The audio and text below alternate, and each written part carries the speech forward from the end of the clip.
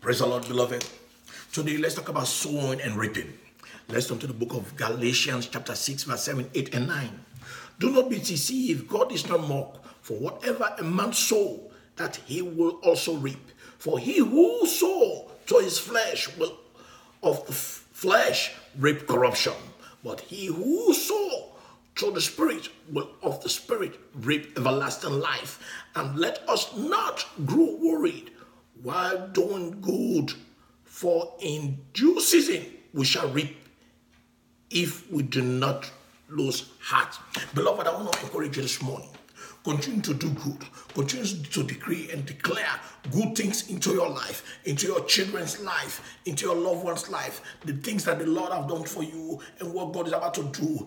Just be thankful. You are not in a mortuary. You are alive. You are not in a morgue. You are not consuated. Some people are out here, but spiritually they are incarcerated. Beloved, stop getting worried. Beloved, the Lord have done so much things for you in life. You have acquired so much. Look at your age and look at your colleagues, your peers that you grew up with, where they are. I've had people always saying things that, oh, I want to get rich. I want to get success. I need to apply some skills, some things, some kind of skills that I've, I've, I've learned throughout my years on this app.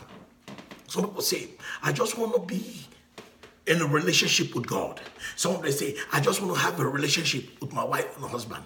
Some of them say, I just want to lose weight. Some of them say, I just want to work hard so that I can acquire things. These are all sowing into your life. Things that you say. Some of them say, I just want to get rid of the demons that I've acquired all these years that have been pursuing me. Do you know what? Because of the places where you go, the people that you hang out with, those people, whatever they are doing, beloved, it will happen to you. For you, how can you say all these things, all the good things that the Lord have done for you? Continue to say it when you declare and declare, uh, declare it into your loved one's life. It shall come to pass. Beloved, someone say, I just need to be to have enough money into my bank account. Somebody say, I just want to have enough to live off. Somebody will say, I will be all right because I'm a human like everyone else. I am not expecting or exempted for anything else. Sally, those words that you produce to be in your life or in others' life become prophetic.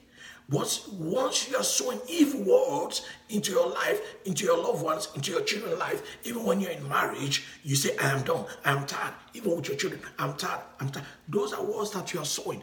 These words will germinate. Those are the words that the devil dwell on. The devil keep pouring water on it. The devil keep pouring water on it. Keep saying good things, even when the kids are not doing fine. But with God, they are doing fine. God is working on them. Continue to say that my children will be great, my loved ones will be great. Don't get yourself worried because of what others are doing, other children are doing, what they are acquiring. Just Thank, be thankful. The Lord has given them to you. The, the Lord is the one that brought you these children. The Lord is the one that brought you into this family. The Lord is the one that brought you this far. Don't get worried. Sow good words into your life. Beloved, if you believe today that the Lord has done so much for you, and he, he will continue to do so much, and the God of chances, He will continue to do chances. Just thank Him and praise Him. Those are good sowing in your life. God bless you.